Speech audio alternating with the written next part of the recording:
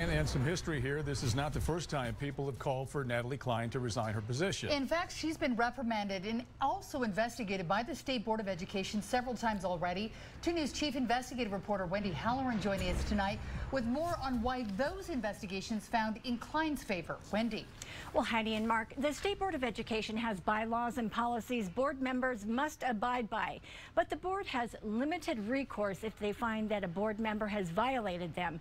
And in Cline's case, the board's past investigations say she hasn't. Seen it? don't impact weather.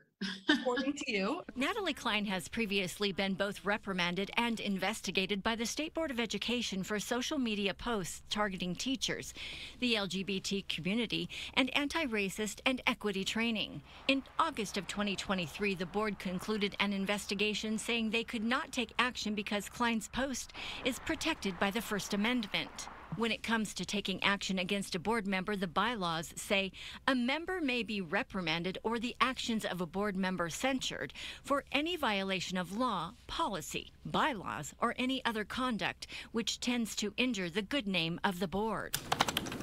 The bylaws also talk about social media posts, saying members who post or comment on social media do so in an ethical and civil manner and provide a disclaimer for any post or interactions that do not represent the official actions or positions of the board. Prior to that August finding, Cline started her post with not official USBE board position at the top. After that finding, Cline started posting constitutionally protected speech at the top of each post, including the one she posted yesterday. Now, when it comes to removing Cline from her position, the State Board of Education does not have any authority to do that since it is an elected position. The only options for removal would be impeachment, pressuring, pressuring her to resign, or not re-elect her. Mark?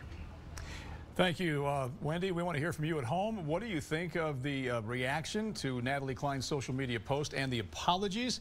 Uh, we've gotten well over 2,000 votes on this poll question. That's a big response. You can scan the QR code on your screen if you'd like to weigh in. And right now, an overwhelming majority of you, 85%, say they you think that Natalie Cline should resign.